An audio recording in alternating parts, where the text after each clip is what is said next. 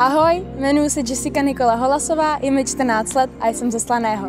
Dělám volejbal, baví mě aerobik, zpívám ve školním sboru a když dělám atletiku, tak se především věnuju skoku do výšky.